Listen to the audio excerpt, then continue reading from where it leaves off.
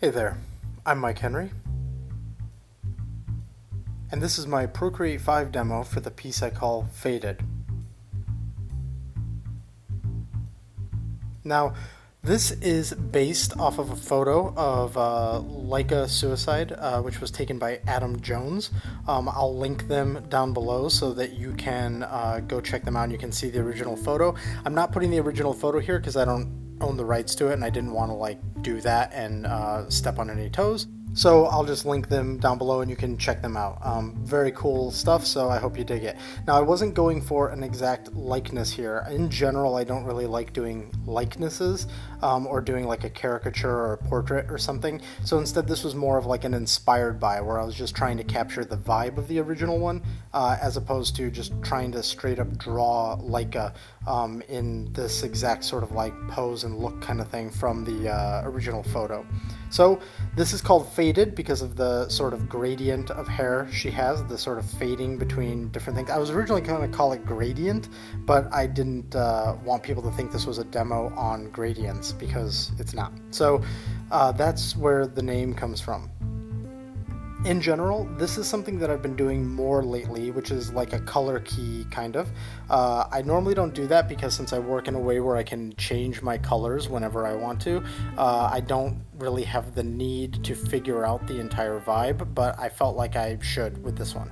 Um, so you can see I then zoom in a bit, like I, I basically enlarge her in the canvas because I thought it'd be nice to have a tighter crop. And now I move into the flats process.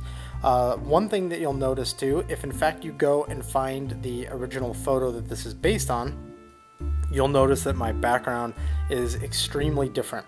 So you'll see in this, uh, I will go for a vibe that's kind of reminiscent of the original photo. And then at some point I decide that it's not working for me. And I think that the thing that worked really well in the original photo just wasn't really working for me here because I wanted this piece to just have a lot of pop, for lack of a better word, um, and I didn't want it to be too muted. And I think that the overall vibe of it is muted until I start finding some some sort of like new ways to tweak it. I think again the original photo is super cool, and that's what inspired me to do it in the first place. But then just for me and my purposes, once I started working with it, it seemed like it would be better to just do what I end up doing, which is going to happen really quickly at the end so I'll just talk about it right now, um, that I wanted to take this sort of subdued, um, well, it comes from the original photos in a real environment. It's like an arcade.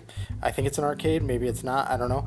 Um, and uh, I that that ends up coming across just like a little bit too muted the way that I try to pull it off in this piece. And I wanted the whole thing to have a stronger sort of like we're isolated on this person and we are focusing on her kind of vibe. I don't know. I feel like I'm explaining it horribly wrong. So let's just simplify it to it wasn't working for me, so I decided to change it when I was going in and trying to pull it off. So right now we've got the, we're starting the flats, or I mean we're starting to get the flats where we want them to be. You'll notice that our hair is a solid pink right now. We will go back in and add the gradient in as a fade instead of use, using a big soft brush instead of doing it with the turpentine brush which is the main brush that I am using here. That's just because I wanted that part to look it's sort of like the contrast between the rougher bits and then the sort of more polished bits like having the flats and most of the rendering be done with the rougher uh, turpentine brush the gradient then is like this nice contrast of like polish I guess you could say I feel like I'm having a rough time explaining this one but that's that's sort of the philosophy behind it, I guess. So now here you can see we've got the gradient in, and then we'll put in another one, and then another one, and this is just done with the soft brush. So if you're looking for a simple brush set to kind of get you going, or you're just curious as to what I'm using, down in the description below is linked my brush set. Um, one thing too that I've noticed a lot of people have asked is how to get the brushes up and running, uh, how to get them in. And the way that I do it is I just throw it into iCloud and then go into um, Procreate and just pull them in. Uh, it's using the Files app. Uh, maybe other people have other ways and it's more complicated. I know some people really struggle if they're not in the Apple ecosystem, but then they have the iPad and the and Procreate. But if you're fully in the Apple ecosystem, it's super easy to do. So down below is linked my brush set that I use on a lot of things. I do of course dart around and use different brushes from Procreate. Uh, something that I've also been doing recently is pulling back in the original turpentine brush just because it's rougher and messier and I can kind of get that vibe out of it. But um, so I use that brush set that's linked down below for most things, which will include like a pencil for sketching, a uh, ink brush for inking, which I will use in this video as well as the new turpentine brush and like a hard round and then a soft fuzzy airbrushy one and that's basically what I use for everything there's also a watercolor brush used that, that's in there but that's just for when I decide to do a watercolor which I actually haven't done in quite some time so the phase that we're at now, we've got everything flatted, more or less. There's probably some adjustments that end up getting made, especially like the tattoos.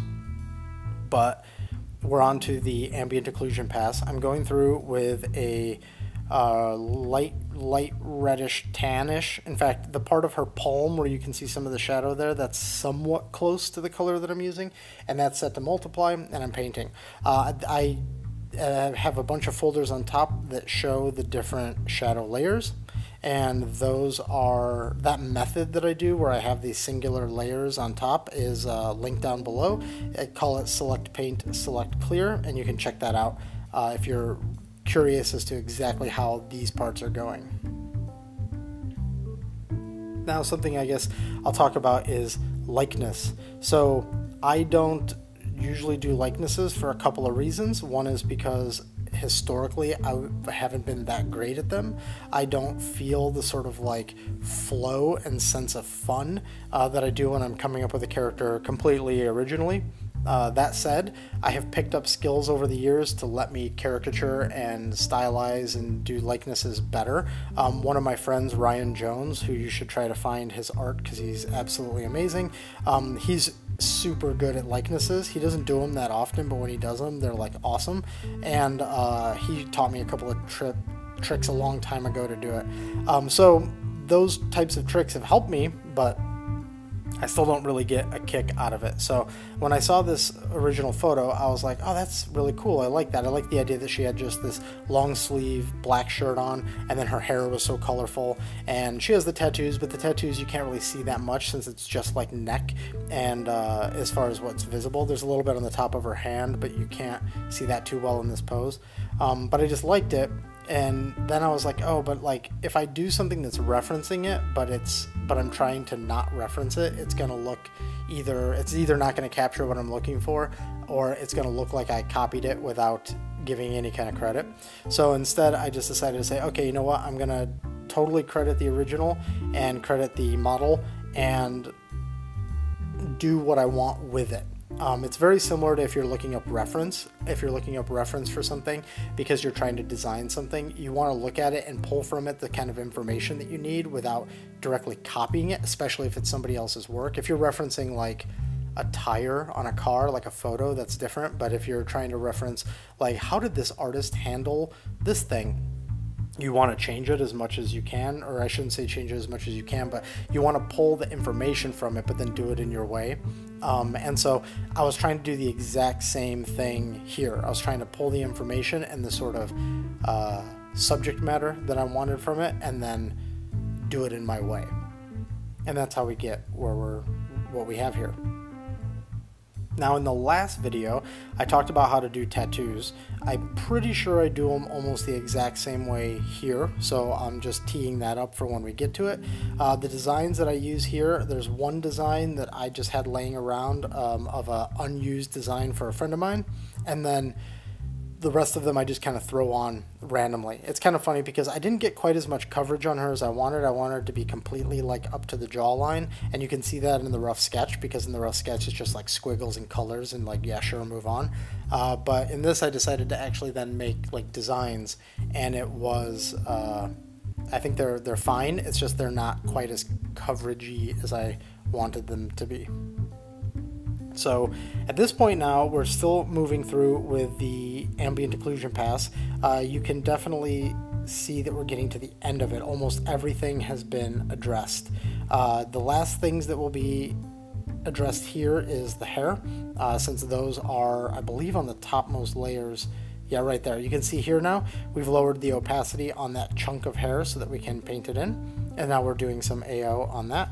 Now we clear the bigger chunk and we do the AO here. The way my shadows are set up for the hair is that I'm using an AO pass to do the biggest chunks of hair and then I'll do another shadow layer where I actually put in the the lines, the sort of like sub chunks, I guess you can say.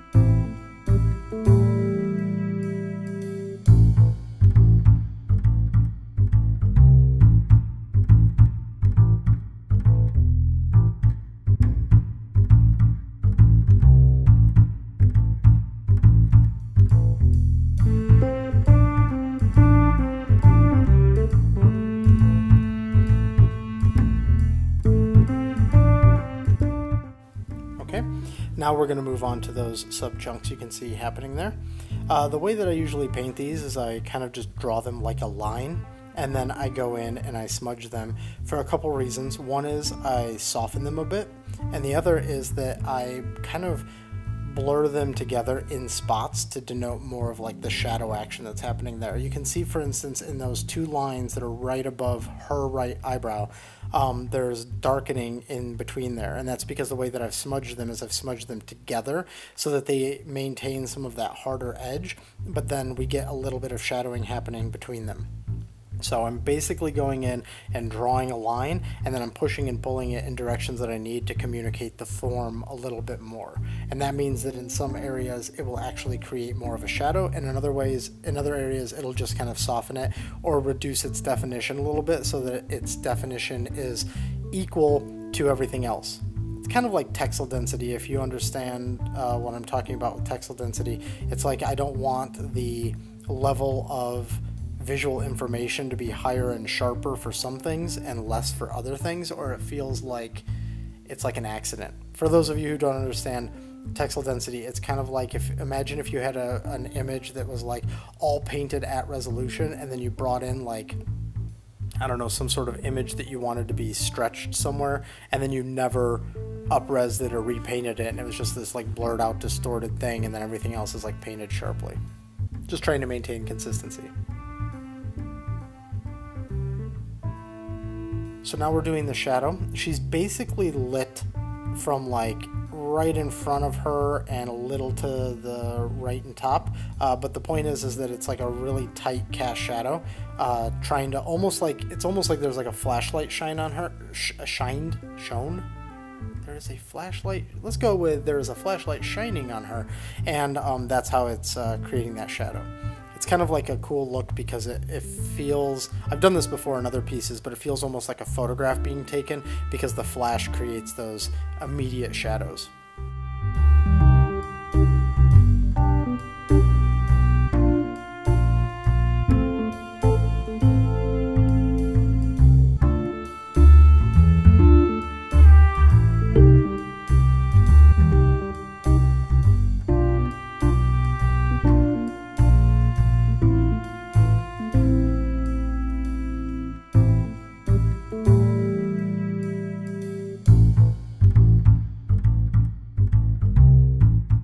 So now we're starting the lighting process. And by lighting, I mean we've technically been working with lighting this whole time, but I mean the actual lighter um, values.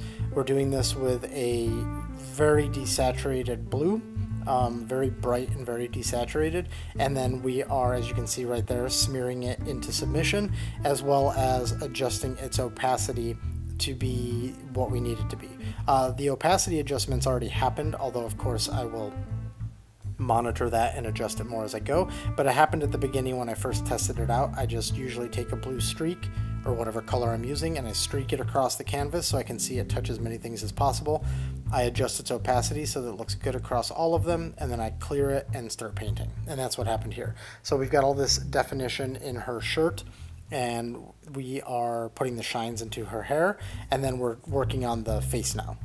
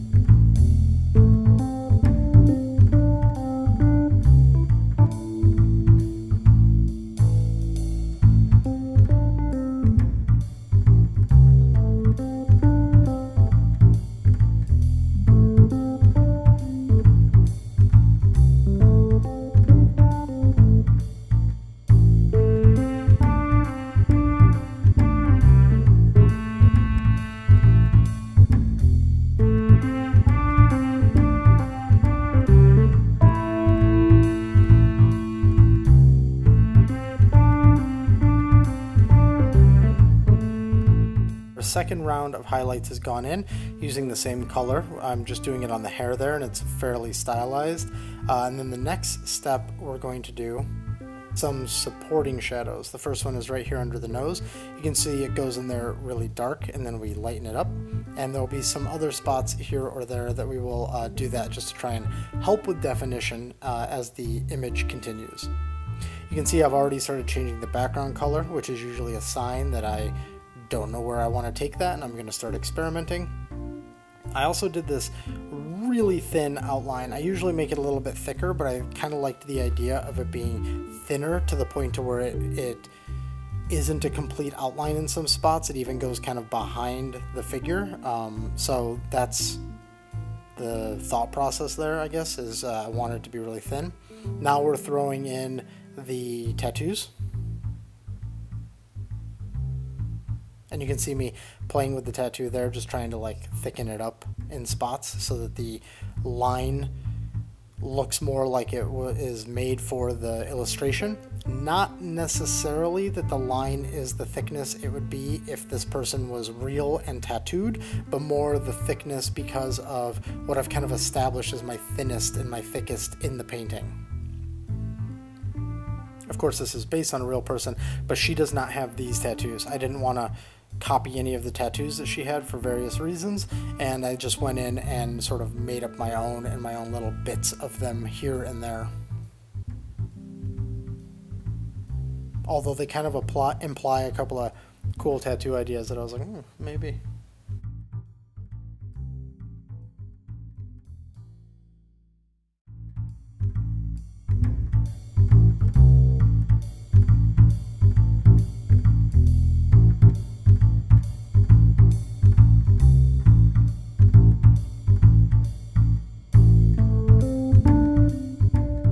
Described in the previous video when I talked about tattoos, tattoos are impacted by all the lighting, so once we turn the lighting back on, you can see how they feel like they're a part of her. And we'll continue to adjust that as the piece goes, but that's the idea there. Um, as for the mess that you see me starting to create in the background, that was me trying to figure out exactly how I wanted to speak to the original photo, but change it up a bit um, and just kind of make it like it is this illustration now. It's inspired by, but it's not directly the same. And so that's what's happening here. Now this starts coming close to mimicking it, and you'll start seeing me do some more stuff with the painting as a whole uh, to support this, but then I gotta tell you, like already at this point, I'm like, this isn't working that well. Um, so I was starting to think about like, what do I really want to do with it? Sometimes, because it's kind of what I was saying about not needing to do color keys. If you're working in a way like this, where all of these components are separate, sometimes there's a time where you're in the valley of despair, and you're like, I don't know if this is coming together. The good news is, is that if you were doing everything right as far as application goes, like putting in the shadows correctly, putting in the lighting correctly, you can always go back and adjust all of these elements, whether it's their opacity or their color or their value or whatever it is, you can adjust them. So for instance, I could very easily redo this whole painting in a matter of minutes to make it feel like it was more like in the daytime. Um, I can make it look like it's more in the nighttime. I can make it look like it's whatever with just a few adjustments to these layers or adding a couple of new adjustment layers on top without having to completely repaint the whole thing. And that's the power of this. In fact, at the end of this, it's not the exact same point, but a similar point. I'm going to show you a couple of the variations that I have on this that were kind of accidental outputs that I thought were kind of even more striking than the original image that uh, I did here. So we'll, we'll get there. I'll make sure that we hover on that for a minute when we get to it. Uh, right now I'm going in and putting in the bounces. Now that I have so much of this illustration sort of figured out, I'm going in and putting the icing. And then that way I can go back in then and I guess adjust the cake afterwards um, and make sure that it's where I want it to be. Uh, so we got a bit of a noise filter on the background doing some little tweaks here to her eyelashes.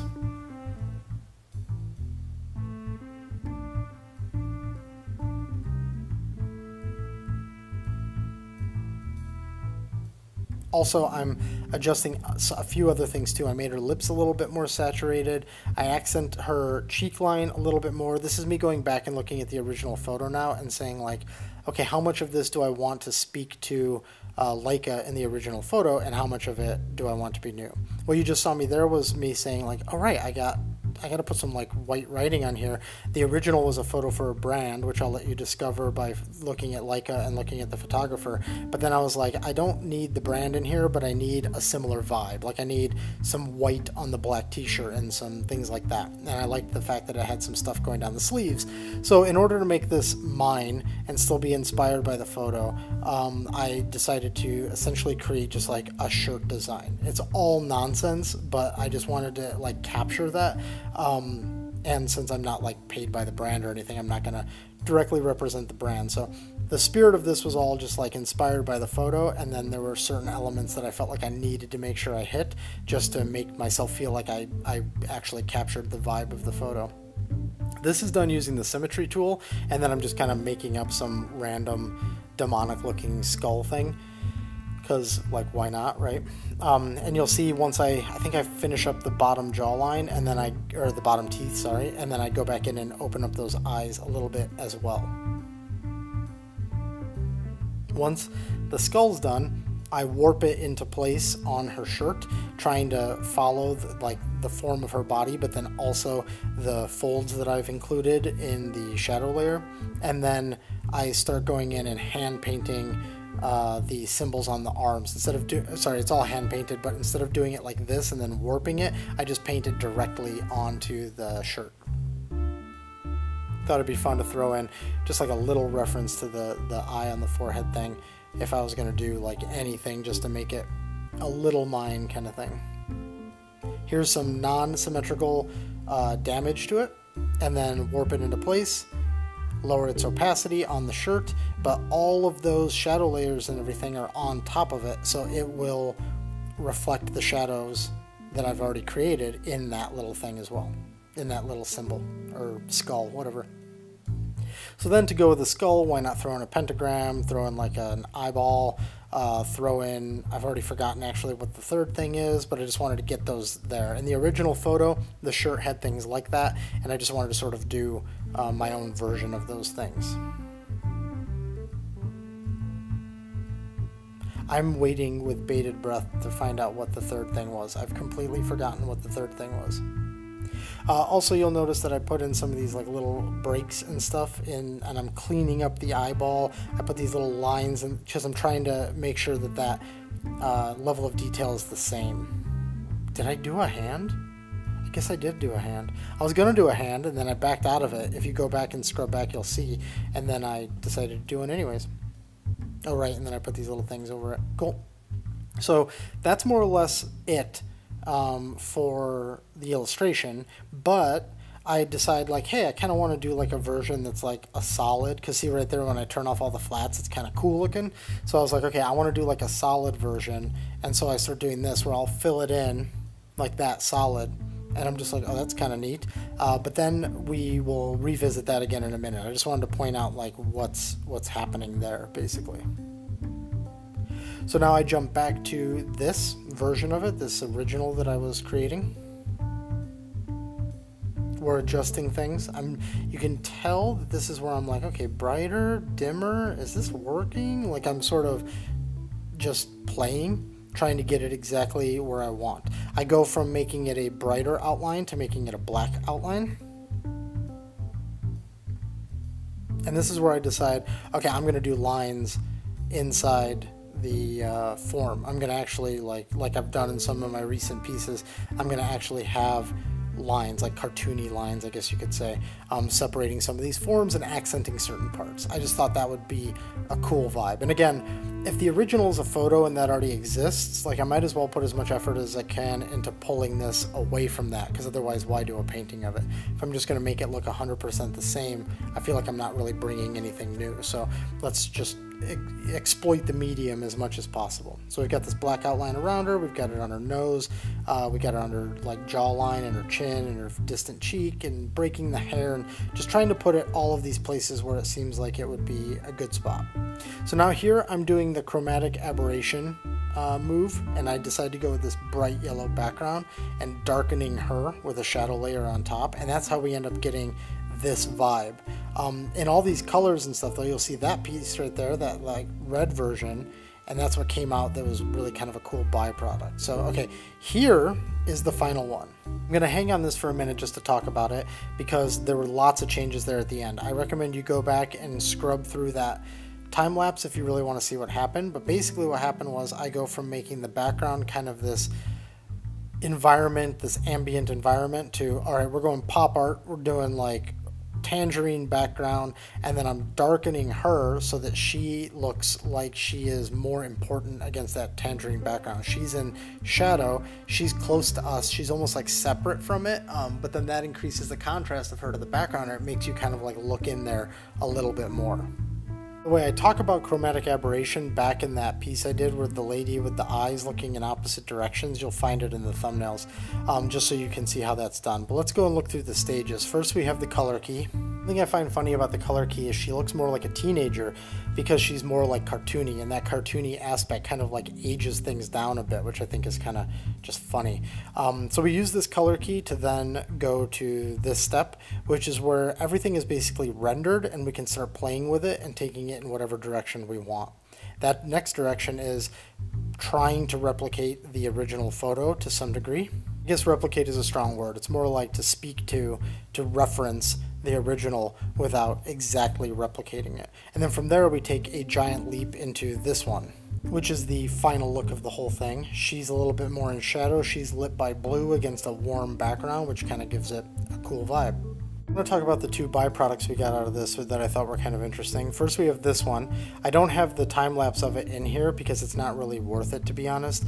Um, all I did was I kept that black outline that was around her. I think I might have thinned it out just a little bit, and I changed the background itself to um, this creamy color.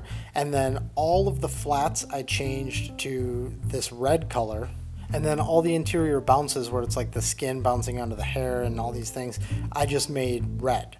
Um, because it's just red bouncing against the shadows of red. And then the rim light that we had in the background, I had match the wall behind her. And it's this cool Oh, and I created the drop shadow, but that was just by duplicating it and shifting it and stuff. Um, which I think gives it this cool waxy look, which is also why I eliminated the interior lines because I thought it kind of sold that a little bit better. And then finally, we got this one. I ended up loving. It doesn't look like the original model. It doesn't look like Laika because she comes off as like blonde in this. Uh, the way that I ended up achieving this was when I was in the middle of doing my chromatic aberration, I accidentally, or I didn't accidentally, I just stopped in the middle when I got sort of this like purpley uh, color, and I was like, wow, I really like this. It looks almost like night vision, but in red. It's just kind of this really cool vibe, and to some degree, it's kind of my favorite thing that came out of this. Now, I like the final painting as well, but I just thought this was super cool, so I saved it out as a separate take on it, and I thought it was really cool. It's actually been my iPhone background for a while now, and it works really well because it's like nice and dark and muted, um, so it's just really kind of cool. So I'm happy that I made the accident of uh, that that one basically that take. Usually the happy accidents come during the sketch phase where it's like a stray line and then you're like, oh, maybe I will put a wing on this character or whatever. But um, this time the happy accident happened at the end, which was really cool. So, thank you for watching. I hope you enjoyed um, everything in here. If you did, please consider liking and subscribing, and I'll see you on the next video. And if you're looking for me on the internet, these are the places where you can find me.